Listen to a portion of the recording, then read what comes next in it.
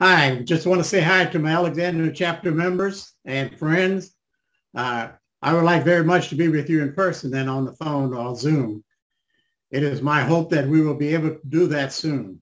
One of the situations where there is light at the end of the tunnel is uh, our upcoming state annual meeting.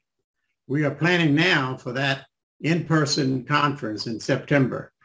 You will hear more about that and with some exact dates you know, when we start and how long it's going to last. We will be at Paragon in Marksville. I'm looking forward to the conference to see old friends and make new uh, friends as well. Of course, to do this in person uh, rather than by computer will be quite a change and quite an opportunity. I want to let you know that our uh, goal toward you have not changed during this uh, no person time that we've had. The RSCA staff has been doing all possible to keep you informed and using new ways uh, in doing so.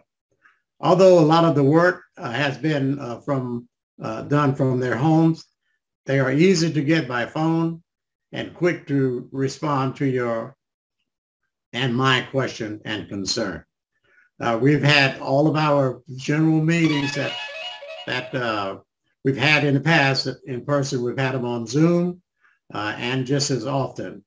Uh, the planning meetings that we've had, much like the conference planning and the uh, committees, have all been done uh, on Zoom and with uh, good minutes taken as well. I want you to know, again, if you have any concerns at all, you could call the office at any time and you will get an answer from them. If you need further uh, words that I may, may be able to help you with, as always, just give me a call. As far as I know, uh, this time next year, we will have our uh, rec center back.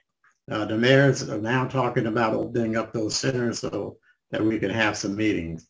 And I know in Alexandria, they've already had one or two.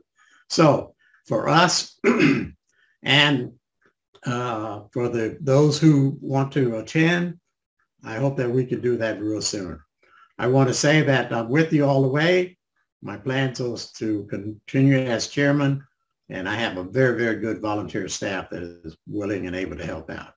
So you take care of yourself, and please enjoy uh, the rest of, uh, of, what you will have.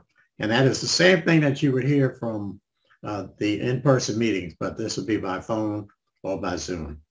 Thank you very much for allowing me to be your president. And uh, I hope you have a good uh, day and a good weekend. Bye.